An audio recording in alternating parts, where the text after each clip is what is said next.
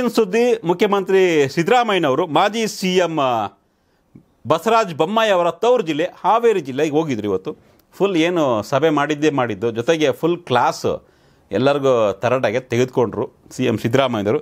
ಜಿಲ್ಲಾಸ್ಪತ್ರೆಗೆ ದಿಢೀರ್ ಅಂತ ಭೇಟಿ ಕೊಟ್ಟರು ಅಲ್ಲಿ ಸಿಕ್ಕಾಪಟ್ಟೆ ಅವ್ಯವಸ್ಥೆ ಇತ್ತು. ಕೆಂಡಾಮಂಡಲರಾದರು ಸಿ ಎಂ ಸಿದ್ದರಾಮಯ್ಯನವರು.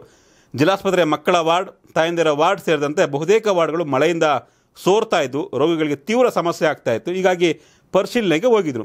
ಈ ವೇಳೆ ಮಹಿಳೆಯರನ್ನು ಮತ್ತು ಮಕ್ಕಳನ್ನು ಮಾತಾಡಿಸಿ ಅಲ್ಲಿನ ಸಮಸ್ಯೆಗಳ ಬಗ್ಗೆ ಸಿ ಎಂ ತಿಳ್ಕೊಂಡ್ರು. ಬಳಿಕ ಜಿಲ್ಲಾಸ್ಪತ್ರೆಯ ಸರ್ಜನ್, ವೈದ್ಯಾಧಿಕಾರಿಗಳು, ಹೆಲ್ತ್ ಇಂಜಿನಿಯರ್ ಸೇರಿದಂತೆ ಎಲ್ಲರನ್ನೂ ಕೂಡ ತರಾಟೆಗೆ ತೆಗೆದುಕೊಂಡ್ರು.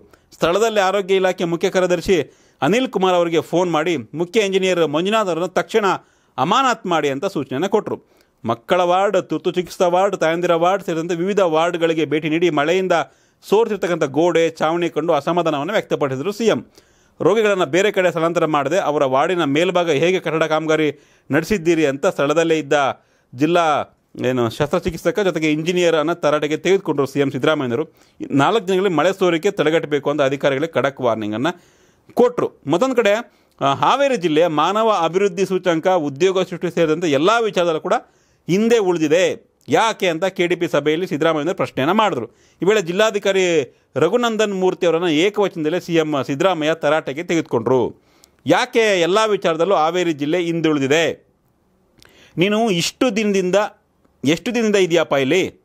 ಜಿಲ್ಲಾಧಿಕಾರಿನ ಪ್ರಶ್ನೆ ಮಾಡಿದ್ರು. ಇದಕ್ಕೆ ಜಿಲ್ಲೆಗೆ ಬಂದು ಎಂಟು ತಿಂಗಳಾಗಿದೆ ಅಂತ ಡಿ ಸಿ ಉತ್ತರವನ್ನು ಕೊಟ್ಟರು ಮಾನವ ಅಭಿವೃದ್ಧಿ ಸೂಚ್ಯಾಂಕದಲ್ಲಿ ಹಾವೇರಿ ಹಿಂದೆ ಇದೆ. ಉದ್ಯೋಗ ಸೃಷ್ಟಿಯಲ್ಲಿ ಹಾವೇರಿ ಇಪ್ಪತ್ತೇಳನೇ ಸ್ಥಾನದಲ್ಲಿದೆ. ಉದ್ಯೋಗ ಸೃಷ್ಟಿ ಮಾಡಲು ಏನು ಮಾಡ್ತಾ ಇದೆಯಾ ಅಂತ ಸಿದ್ದರಾಮಯ್ಯನವರು ಆಕ್ರೋಶವನ್ನು ವ್ಯಕ್ತಪಡಿಸಿದ್ರು. ಸಿದ್ದರಾಮಯ್ಯ ಮಾತಿಗೆ ಸಂಪೂರ್ಣ ಮಾಹಿತಿ ನೀಡಲು ಜಿಲ್ಲಾಧಿಕಾರಿ ಪರದಾಡಿದರು. ಈ ವೇಳೆ, ಕಥೆಯೆಲ್ಲ ಬೇಡ. ನೀನು ಬಂದಾಗಿನಿಂದ ಎಷ್ಟು ಅಭಿವೃದ್ಧಿ ಆಗಿದೆ ಹೇಳು. ಉದ್ಯೋಗ ಸೃಷ್ಟಿಯಲ್ಲಿ ನೀವು ಕಂಪ್ಲೀಟ್ ಏನು ಆಗಿ ಹಿಂದಿದ್ದೀರಾ. ಶಿಕ್ಷಣದಲ್ಲಿ ಕೂಡ ಹಿಂದಿಳಿದಿದ್ದೀರಾ ಎಂದು ತರಾಟೆಗೆ ತೆಗೆದುಕೊಂಡ್ರು. ಸೊ, ಹಾವೇರಿ ಜಿಲ್ಲೆಯಲ್ಲಿ, ಹಾವೇರಿ ಜಿಲ್ಲೆ ಹಿಂದೆ ಉಳಿದಿದೆ. ಇಪ್ಪತ್ತೇಳನೇ ಸ್ಥಾನದಲ್ಲಿದೆ. ಅಭಿವೃದ್ಧಿ ಸ್ನೇಹದಲ್ಲೂ ಇಲ್ಲ ಅಂತ ಆಕ್ರೋಶವನ್ನು ವ್ಯಕ್ತಪಡಿಸಿದ್ರು. ಪರೋಕ್ಷವಾಗಿ ಎಲ್ಲೋ ಒಂದು ಕಡೆ ಮಾಜಿ ಸಿ ಎಂ ಬಸವರಾಜ ಬೊಮ್ಮಾಯಿ ಅವರ ತವರು ಜಿಲ್ಲೆ ಅವ್ರಿಗೆ ಟಾಂಗ್ ಕೊಡೋ ಥರ ಅನಿಸ್ತು. ಅಂದರೆ ಹಾವೇರಿಯಲ್ಲಿ ಏನೂ ಅಭಿವೃದ್ಧಿ ಆಗಿಲ್ಲ. ಈ ಆಸ್ಪತ್ರೆಗೆ ಏನು ಭೇಟಿ ಕೊಟ್ಟಿದ್ರು. ಇವತ್ತಷ್ಟೇ ಮಾಧ್ಯಮದಲ್ಲಿ ಸುದ್ದಿ ಆಗಿತ್ತು. ಮಹಿಳಾ, ಮಕ್ಕಳು ಮತ್ತು ತಾಯಿಯರ ಆಸ್ಪತ್ರೆಯಲ್ಲಿ ಸೋರ್ತಾ ಇದೆ, ಚಳಿಗೆ ನಡುಗ್ತಾ ಇದ್ದಾರೆ ಅಂತ. ಸೊ ದಿಢೀರಂತ ಸಿ ಎಂ ಸಾಹೇಬ್ರೆ ಹೋಗಿ ಅಲ್ಲಿ ವಿಸಿಟ್ ಮಾಡಿದ ನಿಜಕ್ಕೂ ಕೂಡ ಒಳ್ಳೆ ಬೆಳವಣಿಗೆ ಅಟ್ಲೀಸ್ಟ್ ಆಸ್ಪತ್ರೆ ಆದರೂ ವ್ಯವಸ್ಥೆ ಸರಿ ಹೋಗುತ್ತೆ ಅನ್ನೋ ಒಂದು ನಂಬಿಕೆ ಇದೆ. ಜಿಲ್ಲಾ ಉಸ್ತುವಾರಿ ಸಚಿವರು ಸ್ಥಳೀಯ ಶಾಸಕರ ಕೆಲಸವನ್ನು ಮಾಡಬೇಕಾಗಿತ್ತು. ಸಿ ಎಮ್ಗಾಗಿ ಕಾಯುವಂಥ ಅವಶ್ಯಕತೆ ಇರಲಿಲ್ಲ. ಬಟ್ ಸ್ಥಳೀಯ ಶಾಸಕರು ಮಾಡಲಿಲ್ಲ, ಜಿಲ್ಲಾ ಉಸ್ತುವಾರಿ ಸಚಿವರು ಮಾಡಲಿಲ್ಲ, ಸ್ವತಃ ಸಿ ಎಂ ಹೋಗ್ಬೇಕಾಯ್ತು. ನೋಡೋಣ, ಸರಿಯಾಗುತ್ತಾ ಇನ್ನಾದರೂ ಅಂತ.